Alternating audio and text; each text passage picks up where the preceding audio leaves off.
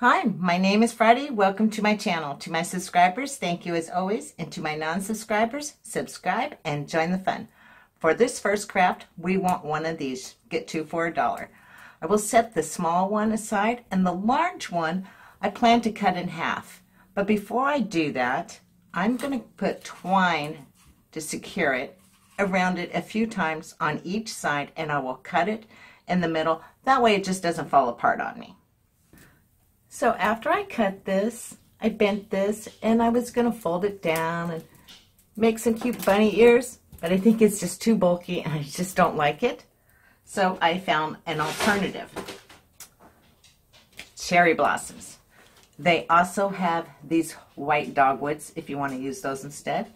And what I will do is take this middle piece, bend this down here, but before I do, I'm going to cut it right below this flower and then bend it down and shape it into a bunny ear and hot glue the back part down right on top of it. I might decorate it. I'm not sure. I'm thinking I'm just going to like it just like it is. And there it is. I should have put my ears closer together at the bottom, but I'm loving this. And if you want to take the large one, you could attach it to make the, the full body. Okay, on to the next project. For this craft, you need one of these crosses and another set. We will not be using the smaller one. And again, just like I did, I'm going to wrap twine around the edges and cut it in the middle. And I will paint this cross with my truffle paint. Now that my cross is dry, I unwrap part of this and I want to attach this this way and this way. So I want to take enough of this and I will have it overhang and I will trim it up with my pruning shears. So I will just kind of spread it out, attach my twine around there, trim it, and repeat it on the other side. Boy, this was a little bit hectic to do, but I managed. I did mess up at the bottom. As you can see, I don't have enough branches in there. I was going to trim this, but I kind of like it like that. I might just trim this a little bit, and then I will throw some of this foliage on there, decorate it. Not sure if I want to do Easter eggs or flowers, so I'll see which one looks better, and I'll set it up. As you can see, I decided not to go with the Easter eggs. I'm loving this with the flowers.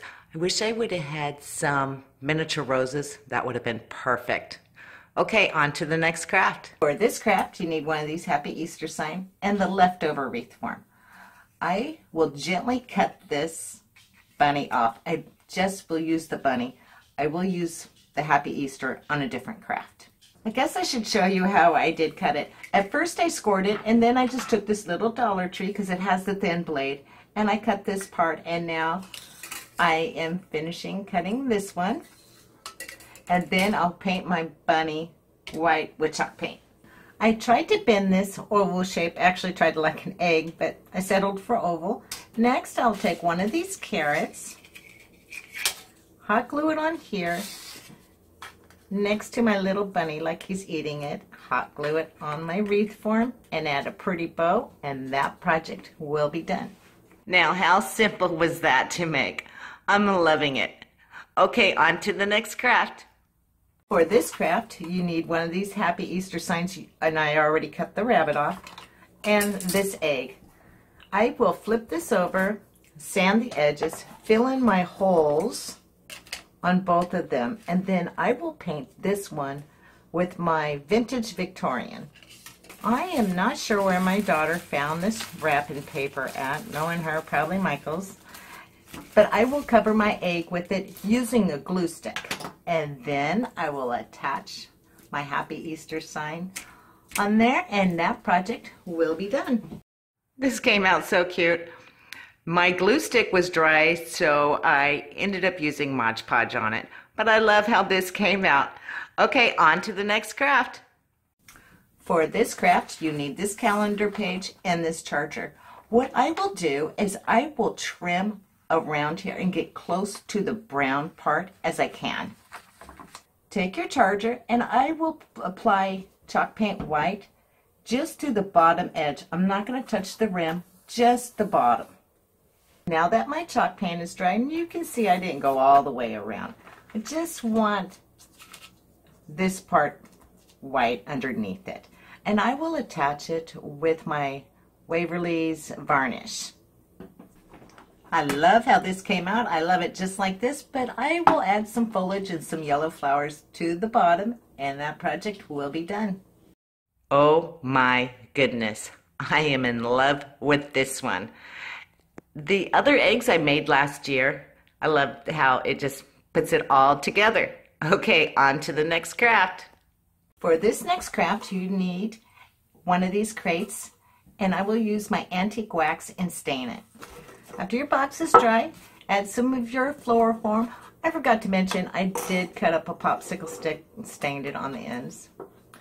I'll add my floral foam, some greenery, some baby's breath, and these eggs. Take a shish, shish kebab stick, put it in there, hot glue it around there, trim it down so it'll fit right in there. And that project will be done. I love how this came out. I should have glued like three crates together and filled them all up. That would have looked really cute. Okay, on to the next craft. For this craft, you want one of these eggs. I will snap it together and paint it with my chalk paint white. Now that my egg is dry, I will take these napkins. I found these at the Dollar Tree last year and decoupage it to my egg. Make sure they're one ply. I'm not sure. I won't know until I get it out and find out. So these napkins were not what I was expecting, but no problem. I finagled it and got it all on there. I did not cover with Mod Podge. I kind of like it just like that. Next, I'll take this bouquet I got from the Dollar Tree. It had some yellow flowers, but I used them on that other project earlier. And so I will just decorate that this egg, and that project will be done.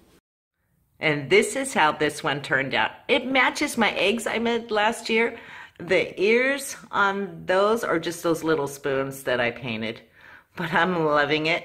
Until next time, take care of yourself and one another.